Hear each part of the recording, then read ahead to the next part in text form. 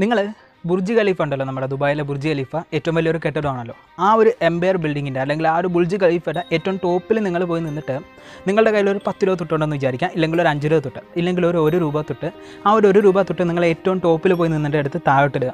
താഴോട്ടിടുന്ന സമയത്ത് താഴെ കൂടെ ഒരു വ്യക്തി നടന്നു പോകാണെന്ന് വിചാരിക്കാം ഒരു ഒരു പേഴ്സൺ ഒരു പേഴ്സൺ നടന്നു പോകുമ്പോൾ ആ ഒരു തുട്ട് അയാളുടെ തലയിൽ വീഴാണെന്നുണ്ടെങ്കിൽ അയാൾ മരിച്ചു പോകോ ഇല്ല എന്നുള്ളതാണ് എന്റെ ഒരു ചോദ്യം എന്ന് പറയുന്നത് നിങ്ങളുടെ അടുത്ത്.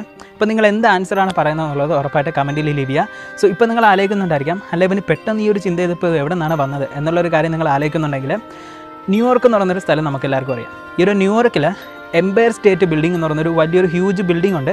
ഈ ഒരു ബിൽഡിംഗ് എന്ന് പറയുന്നത് യഥാർത്ഥത്തിൽ ഒരു സ്കൂളാണ് ഈ ഒരു ബിൽഡിംഗ് പേര് സ്റ്റേറ്റ് ബിൽഡിങ്ങിന്റെ മണ്ടയിൽ നിന്നും സപ്പോസ് ആർക്കെങ്കിലും ആരെങ്കിലും കൊല്ലണം ഒരു ദേഷ്യം ഉണ്ടെന്നുണ്ടെങ്കിൽ അയാൾ ആ ഒരു സ്റ്റേറ്റ് ബിൽഡിങ്ങിന്റെ താഴെ കൂടെ നടന്നു പോകുകയാണെന്നുണ്ടെങ്കിൽ ആ ഒരു ബിൽഡിങ്ങിന്റെ മുകളിൽ നിന്നുകൊണ്ട് ഒരു തുട്ട് ഒരു കോയിൻ എടുത്ത് അയാളുടെ തലയിൽ ഇട്ട് കൊടുത്താൽ മതി.